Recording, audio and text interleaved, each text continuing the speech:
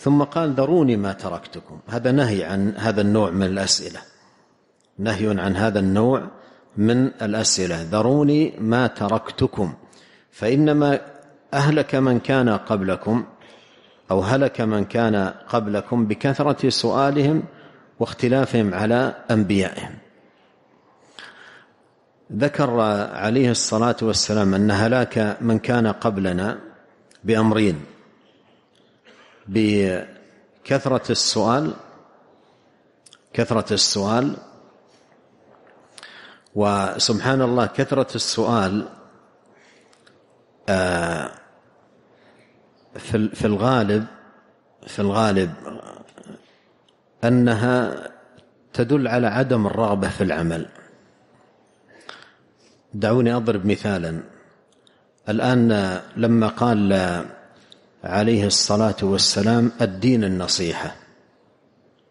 الدين النصيحة. ماذا قال الصحابة؟ لمن يا رسول الله؟ جاهزين للعمل جاهزين للقيام بالنصيحة. لمن؟ لكن أرأيتم لو أن شخصا سمع الحديث الدين النصيحة قال هل الدين النصيحة كله؟ لماذا قال الدين النصيحة؟ لماذا لم يقل الدين كذا؟ ويأتي بافتراضات. هذه تدل على ماذا؟ انظر الفرق بين الراغب في العمل وبين الذي يسأل سؤالات كلها تكلف تدل مع عدم رغبة في العمل.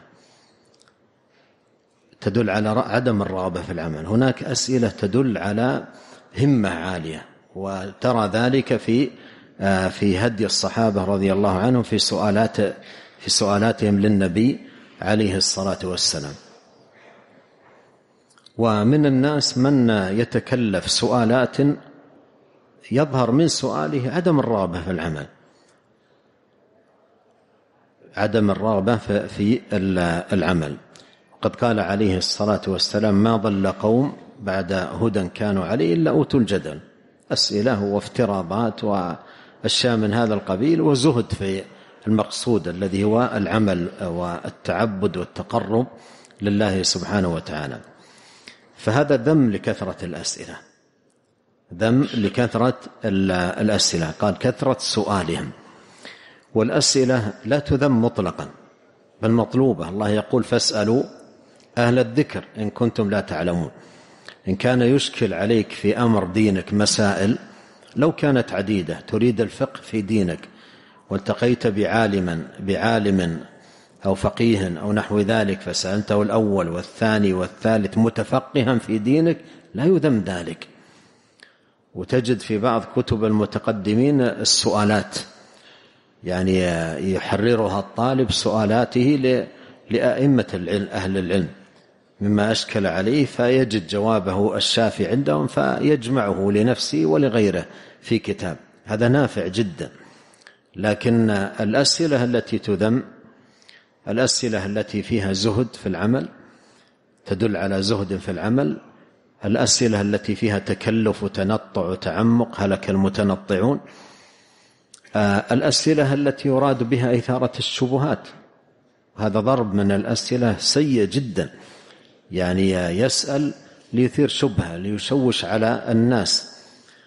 أيضا من الأسئلة الفاسدة الباطلة أن يسأل ليظهر نفسه. ما له قصد في العمل. ولكن ليبرز نفسه يتحرى مثلا سؤالا يبحث عنه بحثا دقيقا حتى يعجز من أمامه أن يجيب عليه. فيظهر نفسه أنه عنده قدر من العلم ليس عند غيره. هذه كلها أغراض فاسدة في الأسئلة. أغراض فاسدة في الأسئلة. السؤال السؤال إنما يصح. إذا قصد به أمران. إذا قصد به أمران. اجتمع في آه، وفد عبد القيس عندما جاءوا للنبي عليه الصلاة والسلام. قالوا يا رسول الله مرنا بقول فصل. نخبر به من وراءنا وندخل به الجنة. هذا السؤال النافع. أن يسأل المرء لا يعمل ويدخل الجنة ويسأل حتى يعلم الناس ويفقه الناس في في دين الله. حتى عد من الأسئلة النافعة الأسئلة التعليمية. يعني تسأل عالما سؤالا أنت تعرف جوابه. لكن تشعر أن في المجلس أناس لا يعرفون الجواب فتريد النصح لهم. مثل ما في الحديث هذا جبريل أتاكم يعلمكم دينكم. أتاكم يعلمكم دينكم. جبريل كان يسأل فقط. وصف النبي عليه الصلاة والسلام تلك السؤالات بأنها ماذا؟ تعليم للدين. قال يعلمكم دينكم. ما زاد على أسئلة فقط. فوصفه النبي صلى الله عليه وسلم بأنه يعلمهم دينهم أي بهذه الأسئلة. فهذه من الأسئلة النافعة. يسأل المرء عن شيء هو يعلم جوابه لكن يشعر أن في الحاضرين من هو بحاجة إلى هذا الجواب حتى ينفع الناس. وفي المتقدمين من سأل بعض الأئمة من سأل بعض الأئمة سؤالا فحرر له الجواب في كتاب. وهذا كثير جدا. وبقي الكتاب نفع للأمة ويكتب لذاك السائل الذي لا يعلم من هو إلا الله. لأن بعض الكتب تجد في المقدمة سألني سائل أو من لا أستطيع رد جوابه أو أشياء ما تدري من هو لكن الله يعلمهم وله أجر هذا الخير الذي جرى في الأمة وحصل نفع في الأمة.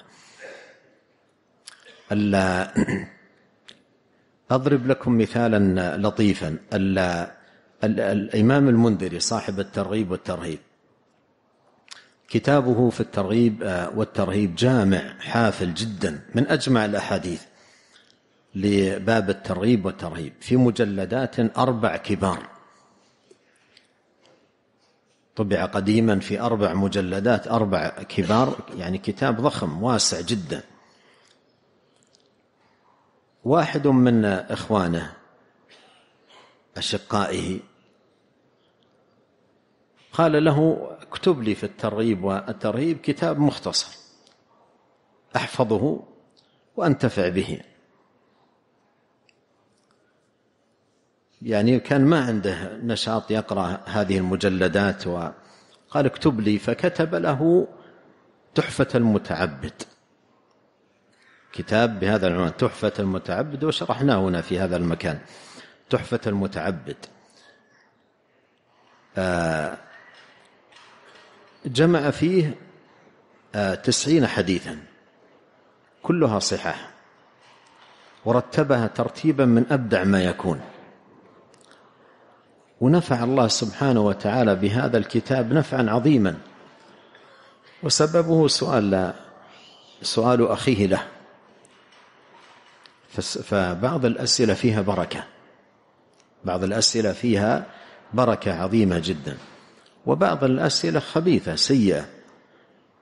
يعني ولهذا ينبغي على المرء أن ينتبه لما دل عليه هذا الحديث. كثرة سؤالهم يعني هذا فيه ذم لنوع من الأسئلة. حذر منه النبي عليه الصلاة والسلام.